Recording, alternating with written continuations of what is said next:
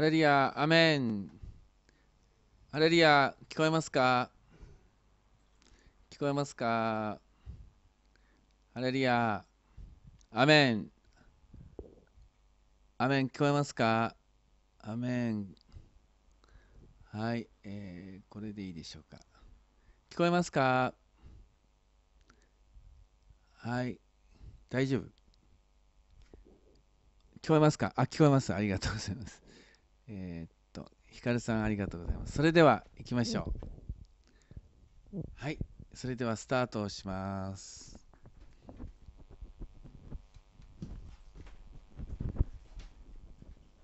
ハレリアアメンハレリアアメンえー、先週がペンテコステでしたですね。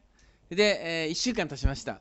ねえー、ペンテコステは教会のあスタート、誕生です。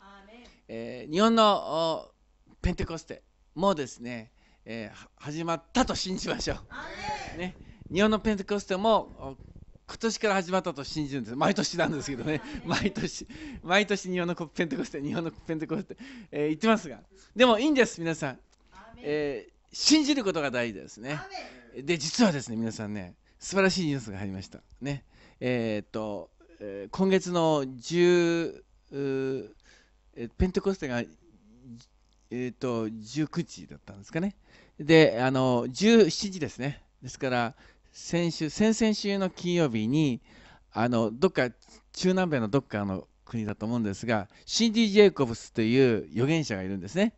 えー、カリスマの中にあの、えー、まあその認められている預言者が何人かいまして私もシンディ・ジェイコブスとリック・ジョイナーっていう方が好きなんですけどもそのシンディ・ジェイコブスが中米か南米かなんか分かりませんが日本について予言したんですね。でそのその予言は、まあ、今までの予言とほとんど同じです。ほとんど同じなんですがでも新しくまた予言をしてくれたんですね。でその予言はなんと、えー、日本にリバイバルが来るという予言ですで経済は良くなる。そして、えー、大学大学生学生にリバイバルが起きるとか。明日明日の夜の放送でちょっと詳しくやりたいと思うんですが今日はちょっと触りという感じで、えー、とにかく励ましです。予言は励ましです、ね。えー、日本日本のクリスチャンとしてすごい光栄だと思いませんか？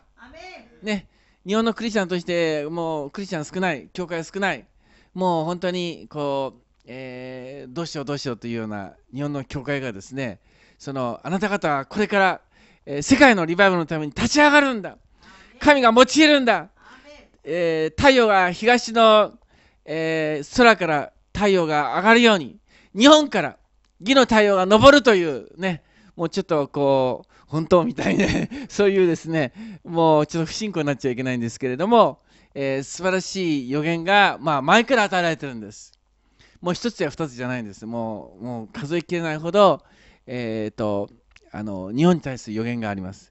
そして、今年の9月3、4号に横浜に来る、えーと、デビッド・ジョナサンという方かな。その方も預言者なんですが、その方も日本に予言を持ってくるということですね。もうそもう日本日本がですね、今、世界のキリスト教はあのまあ、カリスマ派ですけどね。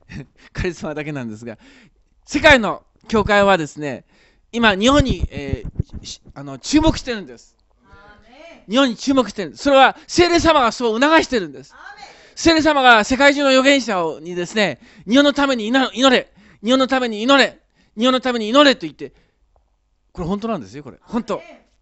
ですから日本は今祈られてるんですそして8月のに来るですね、なんていう方だったかな、えっ、と、えー、8月に来る方もですね、もう日本はもう優先的に来るとおっしゃってくれたんですね。なぜ日本日本に優先的に来るかというと、日本が大事な国だ。これからの世界のリバイバルで大事な国だから、私は優先して日本に来ると言ってくれた方なんですね。世界のそのような預言者たち、リーダーたちは日本に注目してるんです。日本に何かがあると聖霊様が教えてるんです。ですから光栄ですね。ですから日本のクリスチャンは励まされるんです。ね、祈っても祈っても祈っても祈ってもリバイバル起きない、ね、祈っても祈っても祈ってもクリスチャンが増えない。大丈夫なんです。私たちは神の言葉を信じるのです。神様がそうなると言ったらそうなるのです。神の言葉に力があるのです。私たちは信仰で歩むのです。信仰というのは、え状況は、ねま、全然反対であったとしてもね、反対であったとしても、神の言葉が必ず成就すると信じることが信仰じゃないですか。ノアノアもそうでした。ね。もう洪水があると言ったら信じたんです。アブラハムも信じました。ね。子供がいないのに子孫が増える。子供いないんですよ。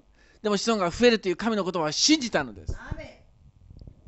神の言葉を信じる者は、なんと幸いなものでしょう今私たちにとって必要なのは、神の言葉を信じることじゃないですか。神の言葉を信じるべきじゃないですか。多くの人は悪魔の言うことを信じていますね。リスナーの方々、悪魔の言うことを信じてはいけません。ね、イエス・キリストの言葉を信じるのです。えーイエス様は言いました。私の語る言葉は霊であり命だと。ン皆さん、イエス様の言葉は神の言葉で、イエス様の言葉は命であり、イエス様の言葉は精霊様なんです。イエス様の言葉を聞く者に精霊が注がれて命が注がれるのです。わお素晴らしいね。皆さん、この真理をしっかり理解しましょう。私たちは神の言葉を聞いて生きるのです。もう食べ物も食べていいですが、本当の私たちの食べ物はイエス様の言葉なんです。イエス様の言葉を聞くならば、イエス様の言葉をお考えるならば、イエス様の言葉を実行するならば、私たちに命が与えられるのです。私たちに力が与えられるのです。えーイエス様の言葉、わおなんと麗しいでしょうか。多くの人は、そのイエス様の言葉の力を知らないのです。イエス様の言葉の、えーこの神の、ね、素晴らしさを知らないのです。神の、えー力、ねえーイエス・キリストの言葉を信じる者に働く神の力。私たちは礼拝します。日曜日集まって礼拝します。えー私たちはですね、えー神の力を見ることができるんです。どうやって見ることができるんですか、えもちろん聖書を読んで神のしたことを見ることできますよ。でも、そうではなくて、今、私たちに働いている精霊を通して、精霊様を通して働いている神の御業を見ることができるのです。え皆さんが証しをします。ね、え優しくなった、許せた、ね、えー悪いことをやめれた。これは神の力じゃないですか？神の御業じゃないですか？私たちは神の御業を見ることができるのです。神の働きを見ることができるのです。目に見えない神ですが、目に見えない神様ですけど、神の力を見ることができるのです。神の力を体験しているんです。味わっているのです。こんな素晴らしいことはないのです。こんなに素晴らしいことはないのです。ねえー私たちは神の御業を求めましょう。見ましょう。賛美しましょう。私たちが礼拝するのは、えー神の素晴らしさを賛美するのです。えー多くの人はですね、なぜ賛美するんですか？お私分かりません。なぜ、なぜ褒めたたえるんですか？分かりません。それは知らないからですね。神様を知らなければ、神を賛美できないんです。神様の素晴らしさを知らなければ、礼拝できないんです。しかし、私たちは、聖霊様を受けて、聖霊様を受けて、その聖霊様の働きを日々体験しているから、日々私たちは見ているので、人が変わった。私も癒された。あの人も変わった。あの人も良くなった。神の御業を見てるならば、賛美できるじゃないですか。賛美できるじゃないですか。証がなかったら賛美できないです。証があるから、小さな証でもいいじゃないですか。ね、人が変わったことは素晴らしいじゃないですか。ね、私たちは神のその力を見てるので、もう心から賛美できるのです。賛美したいのです。もう神様を賛美しなくて何を賛美するんですか？自分を賛美してどうするんですか？この世を賛美してどうするんですか、えー人間的なものを賛美してどうするんですか？それは全部偽物なのです。この世のものは全部偽物で、人間的なものは全部偽物で、この世の誇りは本物じゃなくて、聖書に言うと恥だと書いてあるんです。このこの世の、この世の栄光は恥だと書いてあるんです。裸の王様です。裸であることを知らないのです。多くの人は、えー自分の恥を誇っているのです。ね、儲かった、ね、えーモテる、ね、私は、ね、綺麗だ。全部恥なんです。自分を誇ってるからです。それは全部あの誇るものではないのです。私たちが誇るのは十字架です。十字架のゆえに、十字架の上に私たちは、その聖霊様をいただいたのです。十字架の上に私たちは神を神の力を受けたのです。十字架の上に命を受けたのです。アーメンハレルヤその精霊に満たされて精霊に満たされて初めて十字架を誇れるのです。その十字架のその意味を受けてるからです。十字架の力を受けているのです。頭だけじゃないのです。心で受けているのです。霊で受けているのです。体験しているのです神様に仕えることができているのです。多くの人は悪霊に仕えています。多くの人は欲に仕えています。多くの人は人間に仕えています。しかし私たちは神に仕えます。ね。以前は悪霊に仕えていました。ね。お酒に仕えていました。お金に仕えていました。ね、えー人間に仕えていました、えーしかし今私たちは神に仕え仕えています。どうやって神に仕えるんですか？どうやって神に仕えるんですか？精霊に仕えることですね。精霊に仕えることが神に仕えることだということです。私たちは神に仕えることができているのです。ぜひ皆さん人生の、えー目的は、えー神に仕えることです。人生の目的は精霊様に仕えることです。精霊を持ってない人は仕えることはできないのです。精霊を持ってない人は神に仕えることはできません形で使えてもダメなんです。ね、霊で使わなきゃいけないんですね。礼拝もそうですね。礼拝は霊と誠を持って礼拝しなさい。霊と誠を持って礼拝しなさいと書いてありますね。聖霊を持たなければ礼拝できないということです。せ聖霊に満ちて、聖霊に仕えて、初めて礼拝できるんじゃないですか。アーメン聖霊を通して聖霊様に私たちはれ聖霊様にさ礼拝することによって聖霊様に祈ることによって聖霊様に通して賛美することによって初めて私たちは神に礼拝することができるのです。アメン神に仕えることができるのです。ねえー皆さん、えー本当に、えー素晴らしい予言を受けたんですからますます、えーがっかりしないで希望を持とうではないでしょうか。ね、私たちは素晴らしい、えー予言で希望を与えられているのです。えー状況は悪くても、えー皆さん喜んでください。えー状況が悪くても、えーその、えー信仰と、ね希望で生きるのです。ね、最悪な状況で私たちは喜ぶべきじゃないですか。最悪の状況で信仰で喜ぶべきじゃないですか。そこに神様の喜びがあるんじゃないですか？アーメンアメンアメンおはようございます。兄弟姉妹の皆さんおはようございます。えーリスナーの皆さんもおはようございます。えー皆さん、えー今朝喜んでいますでしょうか、えー皆さん喜んでください。イエス様があなたを喜ばせてくださるからです。私たち人間の手は皆さんの心の中には届きません。でも神の御手は届くんです。皆さんの心の中に神の御手が届き、神の御言葉が届くんです。私たちは今神様に召されてこうして礼拝し、神の言葉を語らせていただいています。それは聖霊様の臨在、聖霊様がいてくださるから語ることができるんです。今朝皆さんに伝えたい神の言葉があります。イエス様はこう言いました。貧しい者は幸いである。神の国はあなた方のものだからなんです。神様の御国はあなた方のものなんです。皆さん、貧しい皆さん喜んでください。神様がそう言われるんです。神の国は貧しい者のためにあるんです。皆さんイエス様はそのために十字架にかかってくださいました。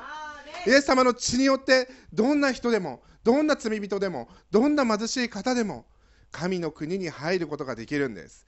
神の国という希望を私たちは知っています。神の国をもしあなた方が持つのであれば必ずそこに癒しがあるんです。必ず癒されるんです。神の国は必ず癒されるんです。どんなことがあっても癒されます、えーそのように聖書に書いてあるんですよ皆さん。神様イエス様がいられるところは、えー必ず癒しがあるんです、えー聖書を開きたいと思います、えールカによる、えー福音書、えールカによる福音書の、えー7章です。ルカの7章、えー21節と、えー22、23節までです。ルカの福音書21、22、23節、えーです、えーお読みいたします、えーちょうどその頃イエスは多くの人々を病気と苦しみと悪霊から癒し、また多くの盲人を見えるようにされた。そして答えてこう言われた。あなた方は言って、自分たちの見たり聞いたりしたことをヨハネに報告しなさい。目の見えない者が見、足のなえた者が歩き、サーラトに侵された者が清められ、耳の聞こえない者が聞き、死人が生き返り、貧しい者たちに福音が述べ伝えられている。誰でも私につまずかない者は幸いです。アメンイエス様は必ず癒しがあるんです。癒してくださるんです。そして、イエス様につまずかない者は幸いです。イエス様は本当にたくさんの奇跡をされました。しかし当時のユダヤ人たちは高慢になってメシアを受け入れませんでした。癒されてるんですけれども、それに嫉妬があって、えーユダヤ人たちは受け入れずに、えー十字架に、えーつけたんです。しかしその十字架というのは世界の富になりました。今こうして私たちがイエス様の福音を述べ伝えることを許されたんです。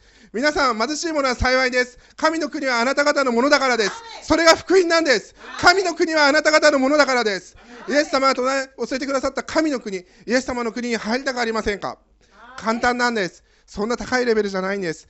イエス・キリストを認めればいいんです。救い主だとしてイエス・キリストを認めればいいんです。神だと認めればいいんです。それが神の国に入れるイエス様が憐れんで入れてくださるんです。狭いもんかもしれませんが、今こうして皆さん福音を聞いているじゃないですか。リスナーの皆さん福音を聞いているじゃないですか。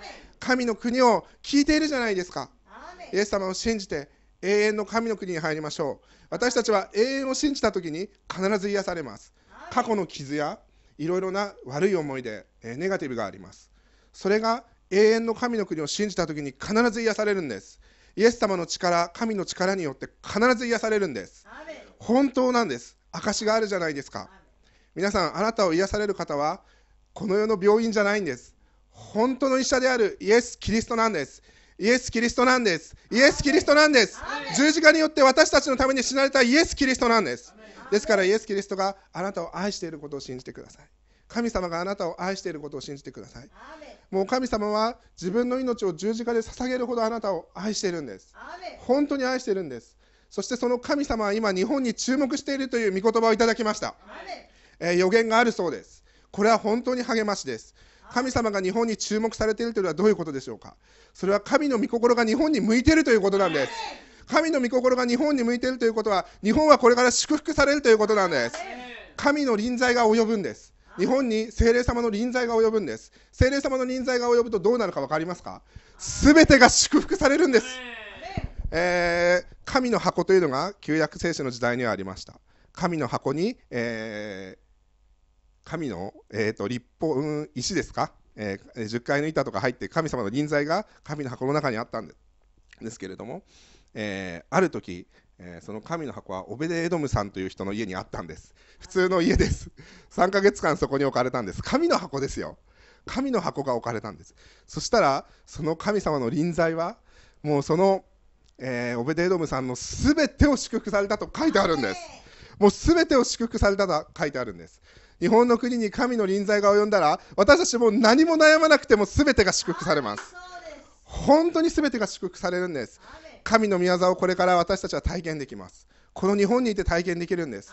信じてください。主の皆を賛美しましょう、えー皆さん主の皆を賛美しましょう。イエス・キリストを崇めましょう。ハレルヤと私たちが大きな声で主の皆を呼び賛美する時が来るんです。そういう予言があるんです。皆さん信じてください。イエス・キリストの愛によってこの日本は改革されます改革されます。新しくされます。それが神の御業です。私たちは神の御業に神様の前にひれ伏す時が来ます。皆さんそのために備えて今日イエス・キリストの御言葉を信じ受け入れてください。アーメンと言ってください。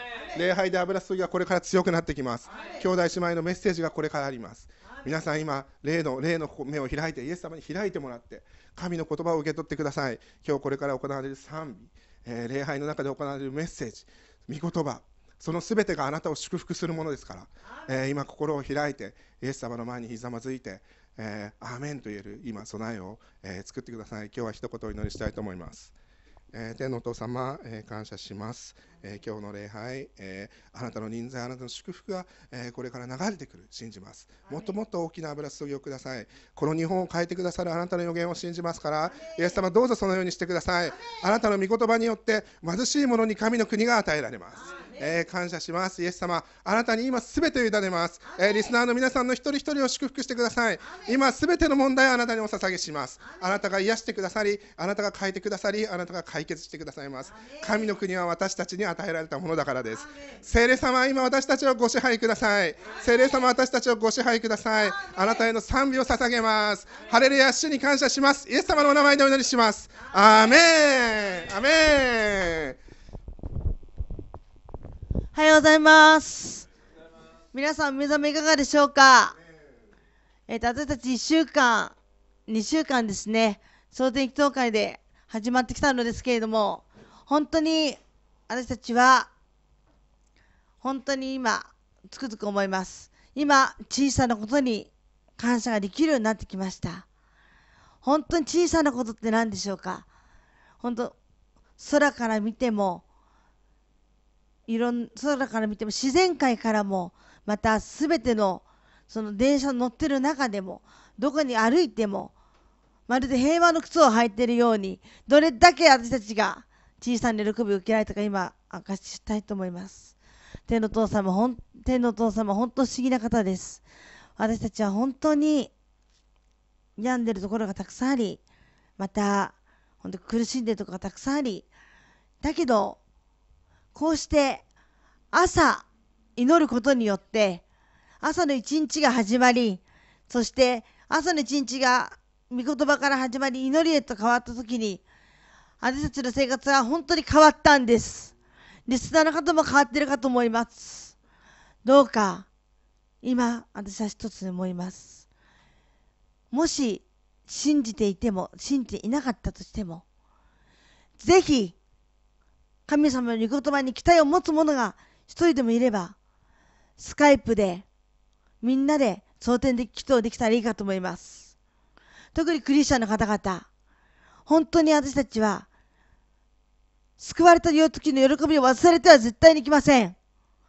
どうか、私たちが本当に力を持って、喜びを持って、義務感ではなく、本当に主を崇めます、感謝します、賛美します、祈りますと、心から祈っていこうではありませんか。せっかくメッセージが、じゃせっかく予言がある以上、私たちは、クリスチャンは目を覚まし、蒼天の恵みを預かりましょう。そして、本当に大きな力を得ましょう。本当に、確かに、見れば見るなり、本当に、クリスチャンってどうしてこんな弱いんだろう。どうして無力なんだろう。どうして、どうして、どうしてって、初めての、初めの恵みを忘れてるところがたくさんあります。その中で私たちは知ることは、本当に感謝することです。半群丸、半山キポハラ、シジマルゴキドハラ、ポンサイカブサハラ。本当に、いつも喜んでください。絶えず祈りなさい。すべてのことについて感謝しなさい。最低限の御言葉です。本当に私たちは立ち上がりましょう。そしてリスナーの方々も、本当に今、こうして画面上で見ておられる方はみんなすべてイエス様を受け入れたものと信じようではありませんか。その中で励まし合い、本当にリスナーの方々もわからない時にはわからないと、本当にその時はニコタマの通知を使って、本当にぜひ、Q ちゃんのメッセージを聞いてください。その中によって、あなたたちは本当の救いの喜びを得ます。本当にいつもが喜びです。いつもが賛美です。いつもが祈りです。いつもが御言葉です。この御言それを握ってさえいれば、どんなに弱くても、どんなに知りたいている人がいるとしても、信仰告白をし、洗礼を受ければ必ず私たちは救われることを信じます。どうか、皆さん立ち上がりましょう。そして本当に絶えず祈りましょう。本当にリスナーの方々には本当に厳しいかもしれません。本当に分からなければ分からないでいいんです。意味が分からない。でも、関心あるな。ちょっと聞いてみようかな。それでいいんです。興味さえ持てばいいんです。それで、どんどん神様は眠っている人でも、御言葉を受け入れることができるのです。本当に今私たち大切なところは、精霊10万、精霊の油注ぎが必要なんです。どうか、皆様、安心してください。自分は祈りが弱いから、自分はメッセージが語れないから、自分は本当に悪いことをしてきたから、そんなの関係ないんです。イエス様の皆にとってはすすべてが平等なんです。決して下も上もいないんです。皆さんどうか信じてください。本当に皆さん、これから熱いメッセージをみんな聞いてください。Q ちゃんから語れるメッセージ、ナイジェリアから来られる方のメッセージ、そのメッセージみんな一つ一つを噛み締めて、今日も一日、一週間喜んで歩もうではありませんか。ハレルヤ感謝します。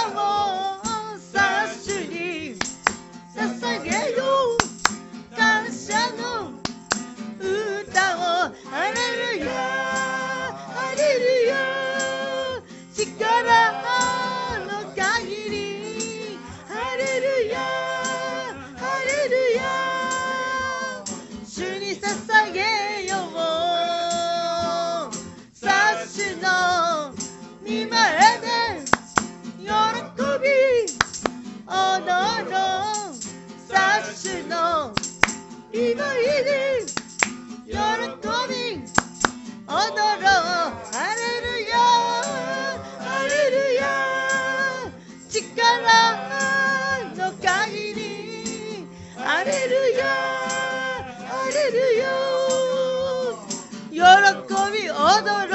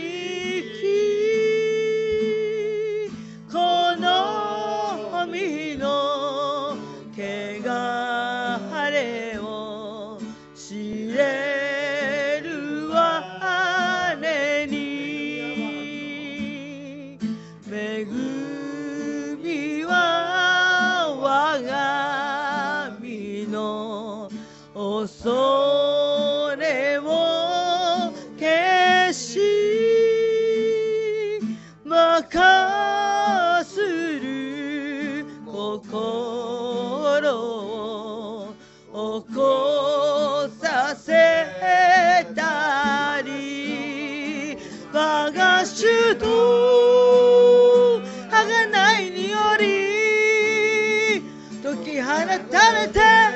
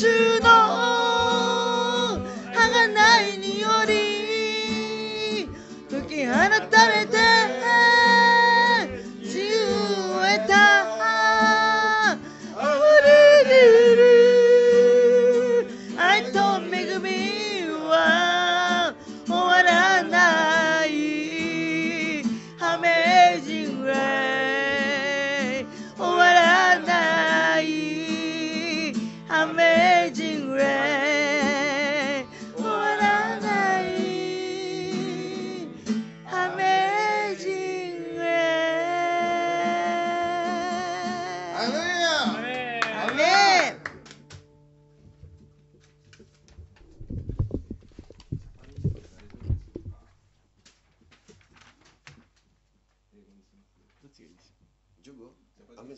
English or? Japanese? Which which one?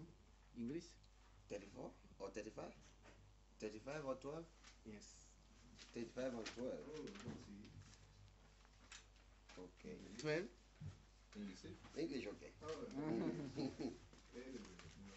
12番英語で。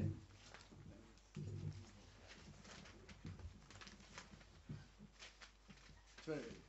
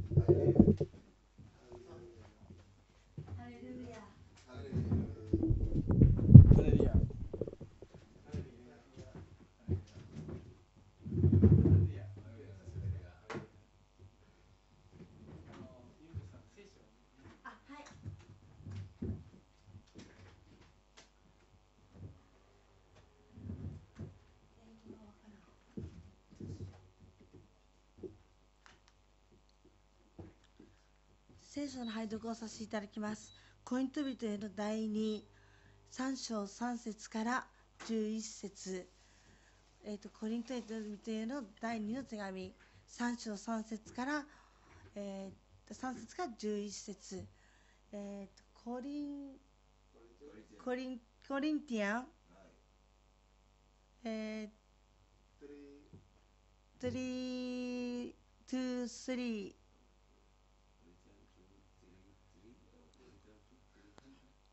すいません、韓国語で言わせていただきます。コリント風じゃん、三条、三、コリン、コリント風葬、三じゃん、三兆すると、一部いるかじんにだ。コリント風葬、三じゃん、三兆すると、一部いるちょるいにだ。英語でできないので失礼いたしました。えー、っと、それでは、拝読させていただきます。すいません。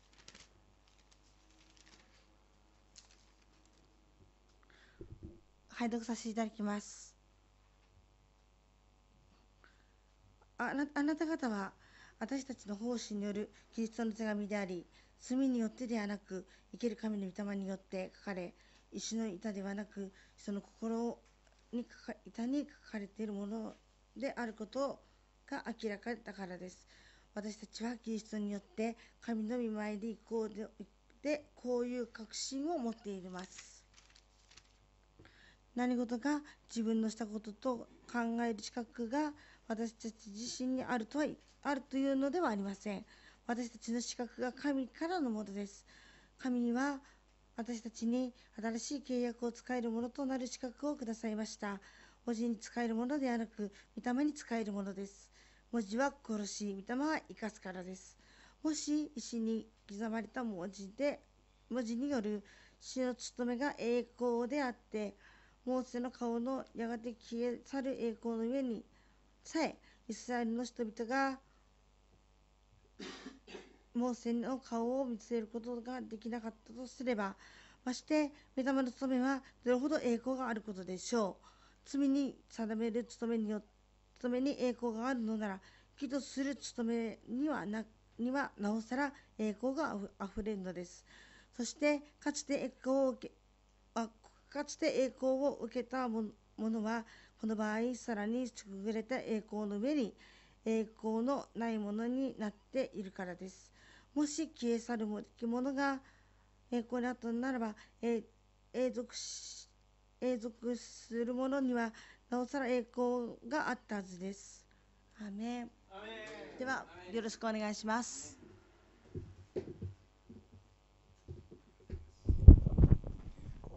ハレルヤー。アメン。えー賛美ね賛美しててあの満たされましたか、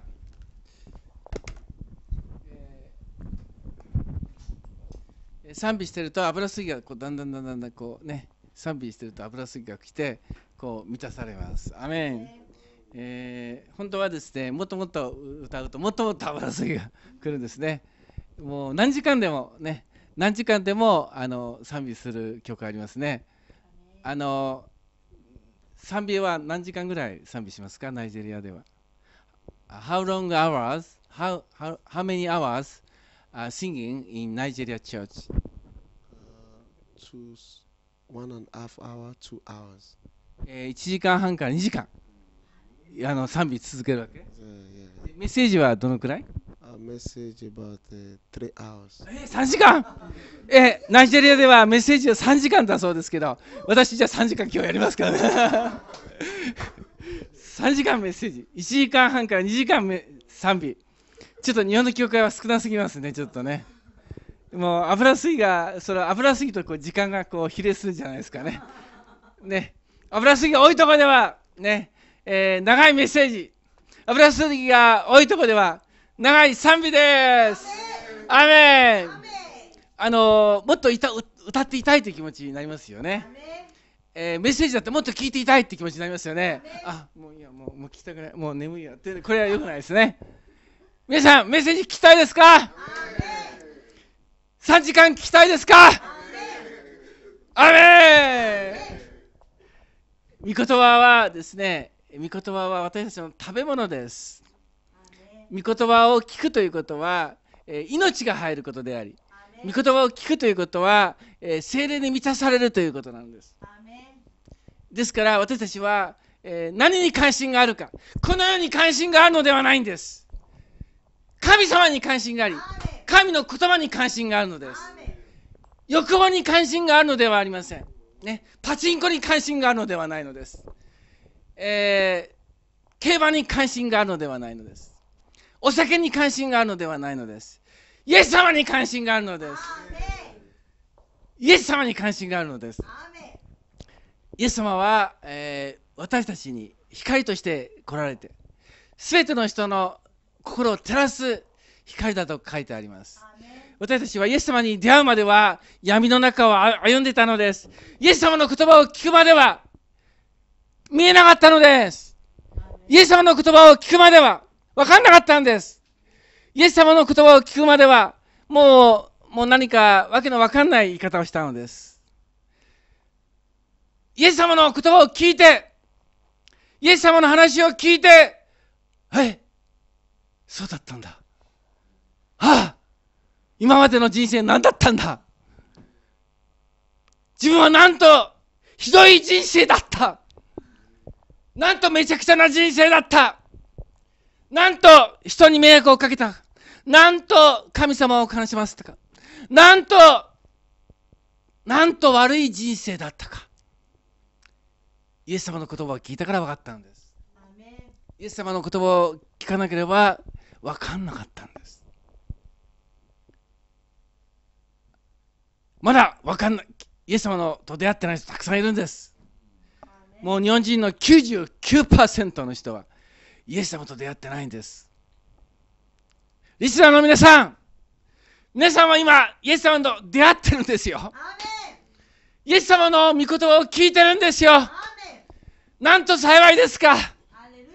なんと素晴らしいですか。悪コメなんか打ってる暇ないんです。もう本当に喜んでください。神の言葉を聞く特権。神の言葉を聞けるなんて。それは特権なのです。まだ世界中で、まだイエス様のことを聞いてない人たくさんいるんです。えー共産主義の国、イスラム教の国、ねえームシロンの国。まだみんなは、イエス・キリストの言葉を聞いてないんです。イエス・キリストという言葉を知ってるでしょう。クリスマスを知ってるでしょう。でもイエス・キリストのこことは知らないんです。イエス・キリストの言葉を知らないのです。どうすればいいんですか？クリスチャンが述べ伝えるのです。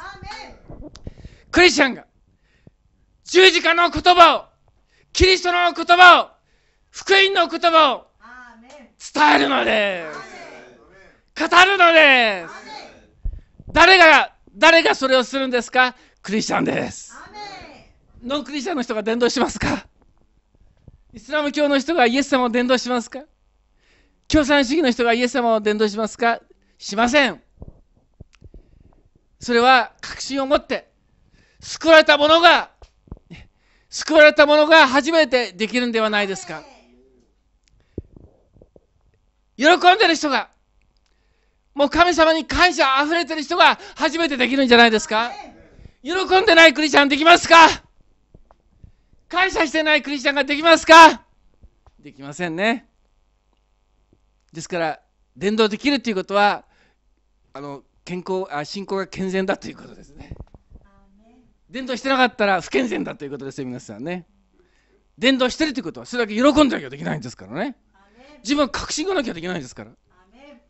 ちょっとねちょっと自分が確信ないのにちょっと伝道できないんですよ自分がよく分かってないんだから救われてるかどうか分かんないのに伝道できませんってなっちゃいますねでもそれでもね一歩踏み出して伝道するとそこに油すぎがあるのです。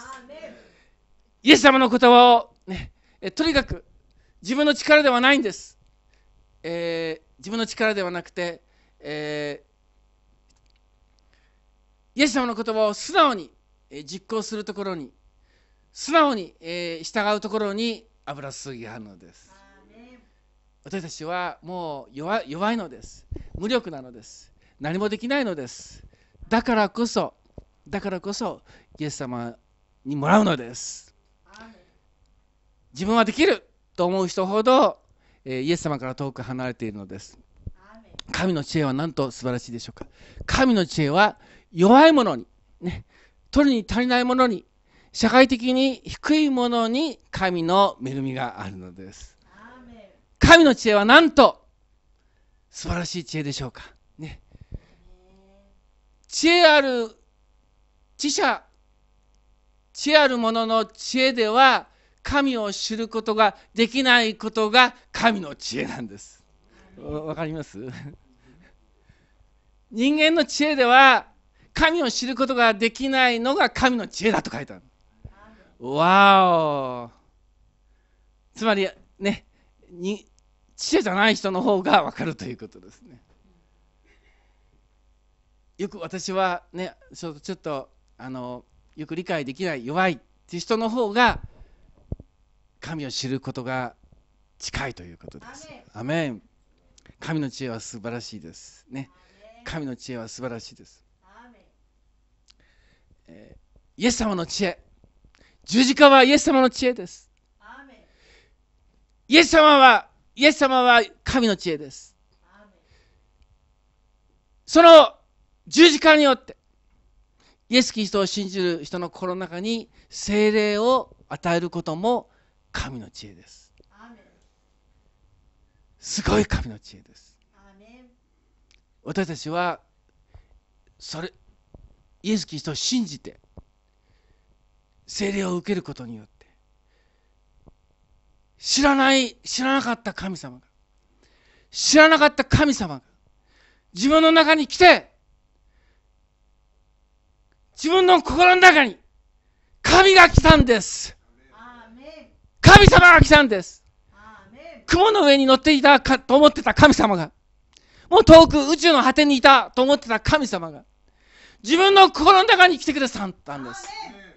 わお。宇宙で最も小さな最も小さなたもうアリのようなたった一人の人間の心の中に一番大きな神様が宇宙より大きな神様がちっちゃなちっちゃなたった一人の人間の中に来てくださった。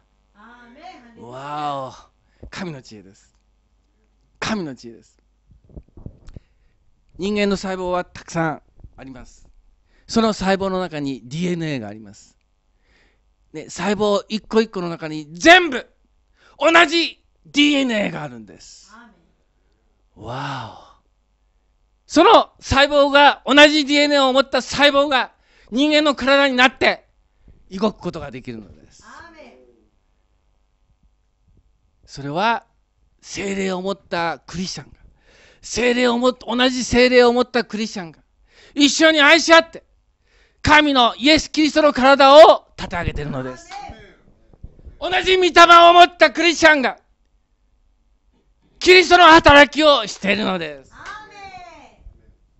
ポイントは何ですか？ポイントは何ですか？イエス様の霊。同じ御霊を持つ者だけが一緒に心を合わせて愛し合うことができて働くことができるということです。精霊を持たない者が神のために使えることはできないということです私たちは、えー騙されてまた、えーその家庭とか社会の中で知らず知らず悪魔に仕え悪霊に仕えていたということです。お酒を飲むということは悪魔に使えることです。ギャンブルをするということは悪魔に使えることです。暴言暴力をするということは悪魔に使えていることです。偶像崇拝するということは悪魔に使えていることです。不貧困をするということは悪魔に使えていることです。戦争中慰安婦制度を作ったのは悪魔に使えていることです。天皇崇拝は悪魔に使えていることです。南京大虐殺をしたのは悪魔に使えていることです。強制連行したのは悪魔に使えているのです。日本は悪魔に使えてきたのです。日本は悪魔に使えてきたのです。天皇崇拝は悪魔に使えていることなんです。お金儲けしてることは悪魔に使えていることです。皆さん知ってください。それがいかに大きな罪か。大きな罪か。悪魔に使えることがどれほど大きな罪かを知ってくださいしかしイエス様は優しいお方です。そのような悪魔に仕えていた人間を許すために十字架にかかって死んでくださったのです。もう本当に大きな罪です。人を殺す。ね、不貧困をする。暴力を行う。日本刀で首を切る。日本刀で内臓を切るものすごい大きな罪なんです。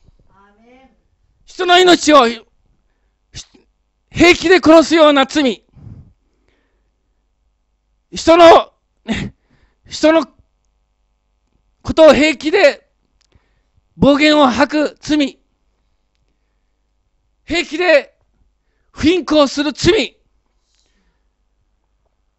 人の性を盗んでいるんです人のプライバシーを盗んでるんです。みんながやってるからやっていいものではないのです。してはいけないことをしてるのです。してはいけないことをしてるのです。AV ですか？AV は人の性を盗んでるのです。人のプライバシーを盗んでるのです。神に神様に似せて作られた。尊い人間の神様に似せて作られた。人間のプライバシーを汚しているのです。AV を見るということは神を汚すということなんです。神の皆を汚すことなのです。私たちは神を尊ぶならば人間を尊ばなきゃいけないのです。人間は神様に似せたもの作られたものです。私たちは神の皆を崇めなければなりません。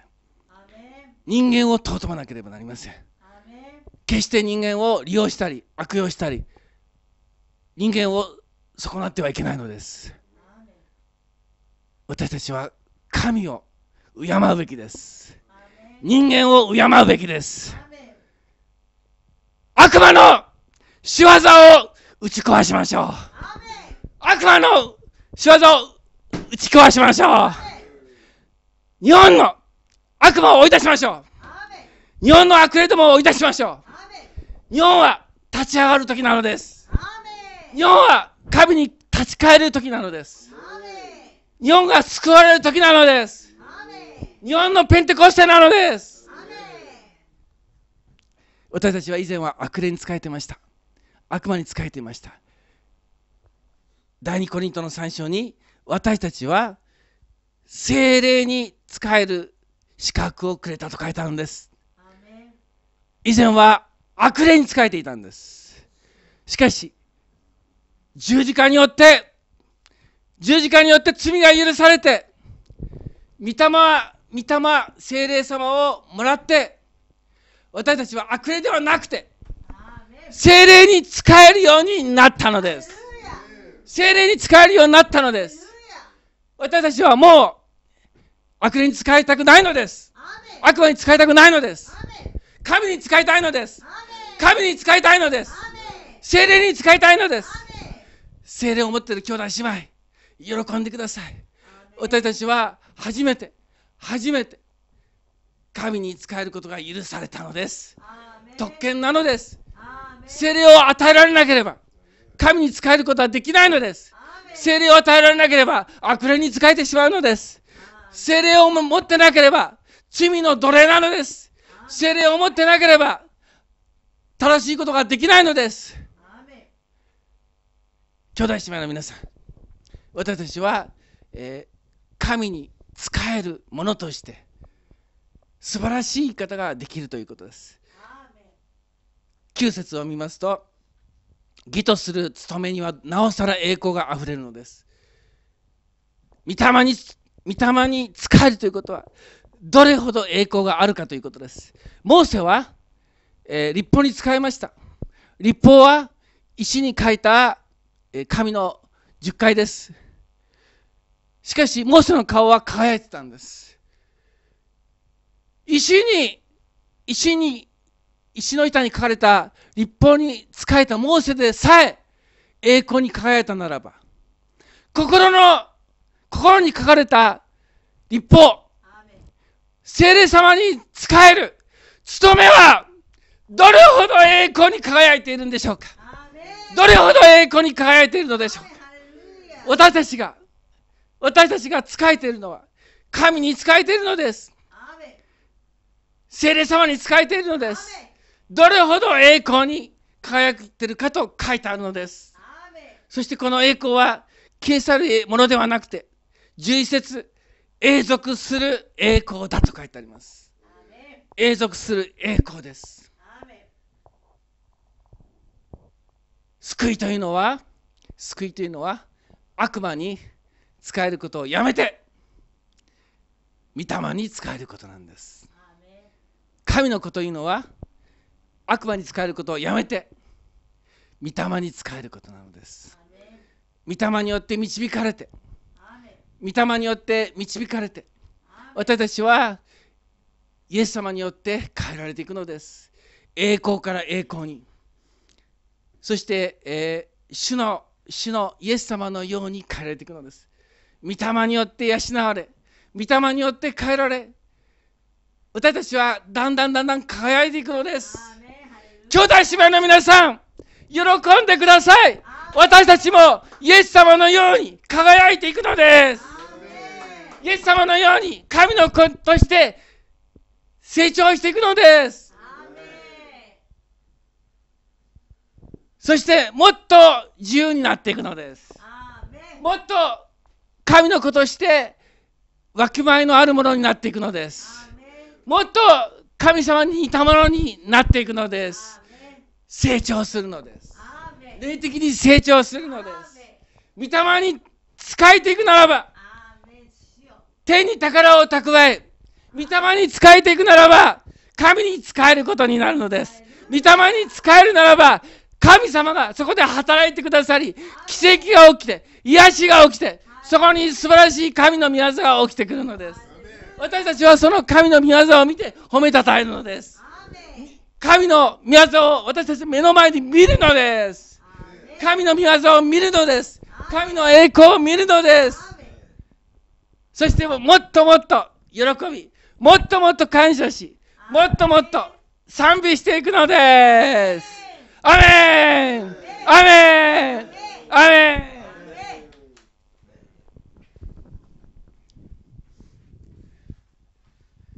Praise the Lord. 主を褒めよ Children of God, praise the う Lord. 神の子供たちをえ主を褒めよ Are you happy う today? 今日はハッピーですか My listeners, are you happy today? リスナーの皆さん今日は元気ですか I know you are all happy. 皆さんがハッピーだってこと知ってますよ And I'm happy too. 私もハッピーです Praise the Lord. 主を褒めよ Praise the う Lord. 主を褒めよ The Lord is good う All the time all the time. Lord is good Praise the Lord. 主を褒めよう My message today, 今日のメッセージは my message today, 今日のメッセージは、this is your time.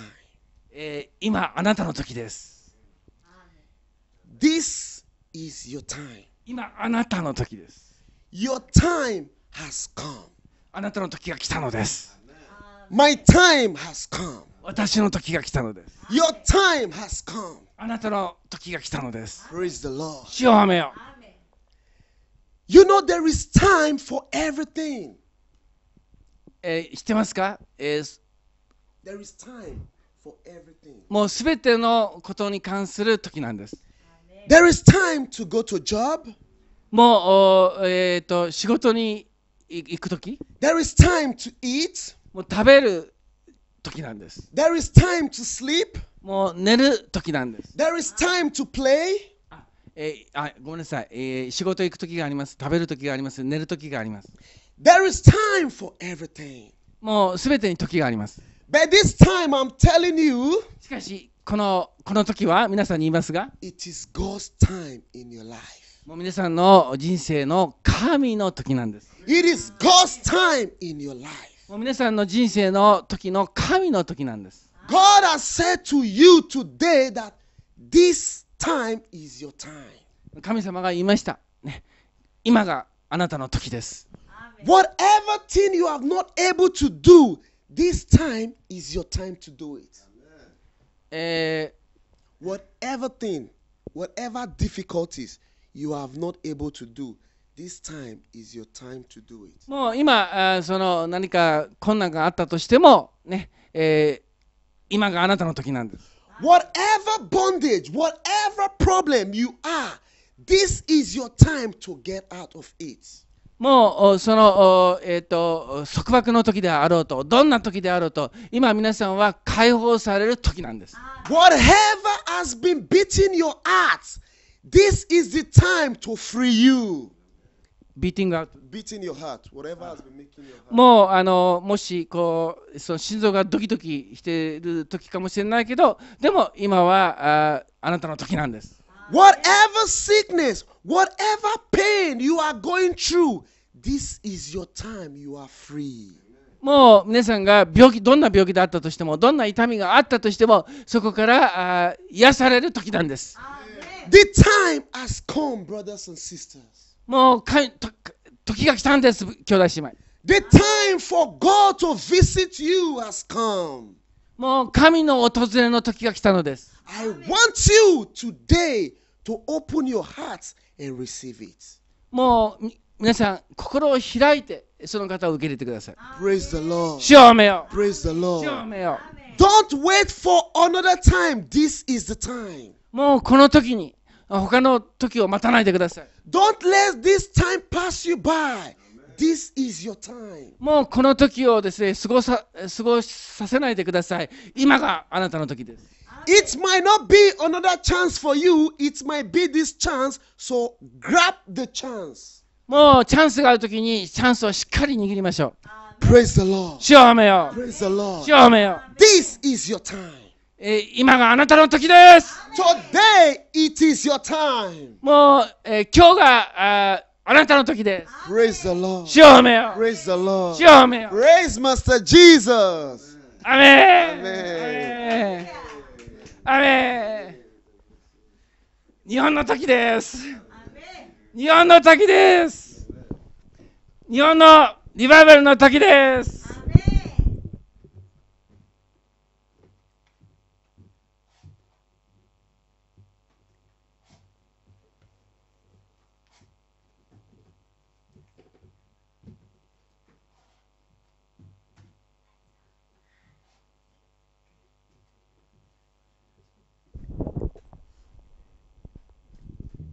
生産式はイエス様との契約です。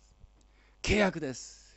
それはイエス様の肉を食べ、そして血を飲むということです。それは、えイエス様を信じるならば、イエス様を信じるならば命を受けるということです。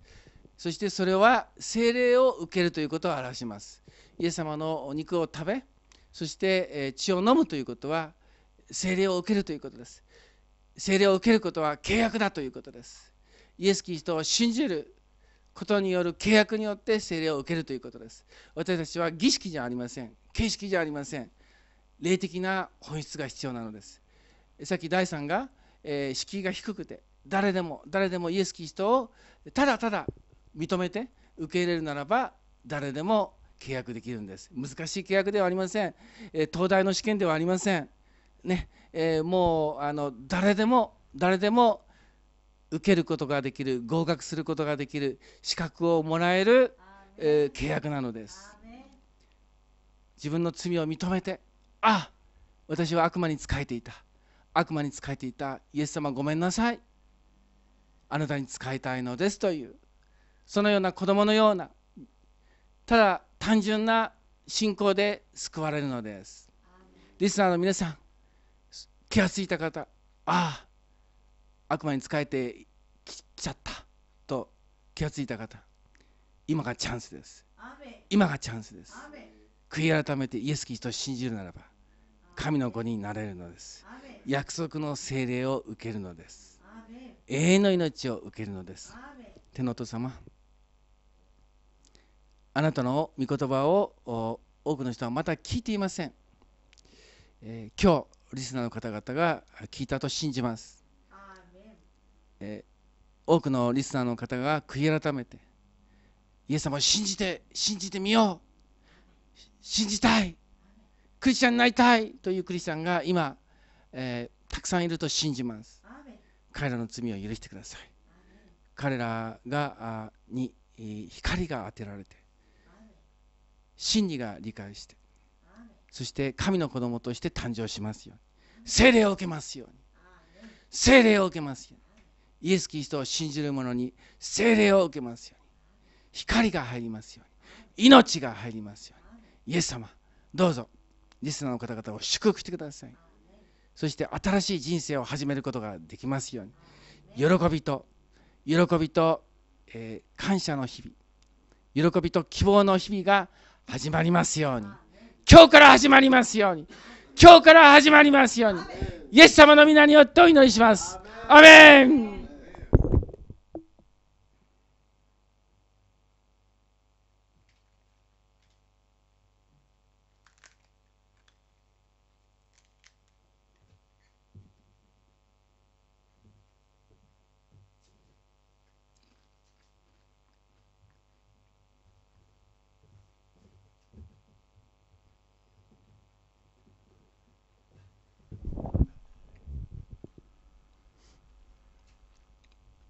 この契約によって聖霊様がいただけます。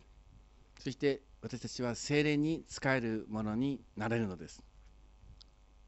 聖霊様をもらわなければ神に仕えることはできません。聖霊様をもらわなければ、えー本当の礼拝ができません。聖霊様をもらわなければ永遠の命がないのです。空のままです。多くの人は空の心です。聖霊様が来ることによって聖霊様が来ることによって初めて本当の人間になるのです。神を持った人間になるのです。神様を知っている人間になるのです。天のお父様あなたはどれほど、えー人々を救いたいと思っておられるか。どれほど聖霊様を与えたいと思っておられるのか。主を憐れんでください。日本を憐れんでください。日本に与えられた予言を感謝します。日本に大リバイバルが来るという予言を感謝します。どうぞイエス様その予言を成就してください。成就してください。あなたの憐れみが日本に注がれてあなたの御霊が日本に注がれて日本が大きく変わること。もう悪魔の国から悪魔の国から、えイエス様の国となること。これが私たちの願いです。イエス様どうぞ。日本を憐れんで書いてください。あなたを喜ぶ者あなたに従う者あなたに祈る者がどんどんどんどんどんどん起こされてあちらこちらであちらこちらで賛美の声祈りの声が聞かれるようになりますようにあなたの皆が崇められますようにたくさんの、日本中日本中でイエス様の皆が崇められますようにイエス様のその時が来ると信じます。早めてください。早めてください。兄弟姉妹が今週も御霊に仕えイエス様に仕える素晴らしい1週間を送ることができるように祝福してください。兄弟姉妹を祝福してください。イエス様の皆によってお祈りします。アメン。アメン。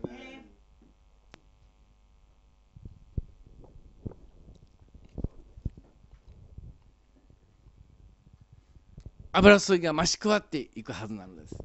皆さん感じてください、えー個人でも教会でも社会でも油注ぎが増し加わってき、えー来ています。感じてください。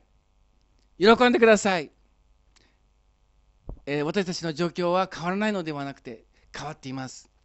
状況が変わっているのです。神様の御手の働きで変わっているのです。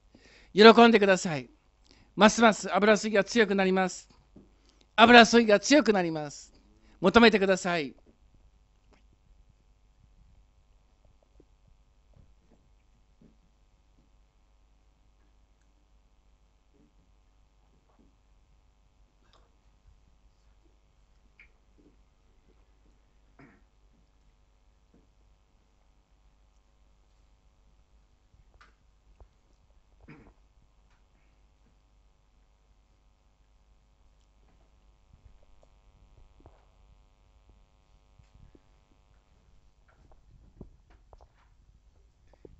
飲みましたか？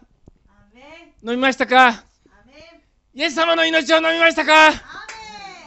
御霊を飲みましたか？ンアメン。聖霊を受けましたか？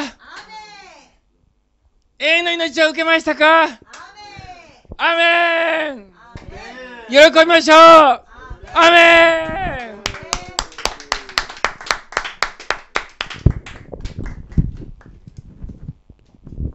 ありがとうございました。本当に皆さん一緒に礼拝できて本当に、えー感謝です。ぜひ皆さん今週も、えー御霊に仕えて信仰で熱く送ってください、えー御言葉をしっかりと守りましょう。皆さんが学んで、えー悟ってきたその御言葉をしっかり守って歩んでください。イエス様にもう思いっきり感謝を捧げイエス様を本当にえー喜ばすような生き方をぜひ続けてください。ありがとうございました。それでは失礼します。シャローン。シャローン。シャローン。シャローン。シャローン。シャローン。シャローン。シャローン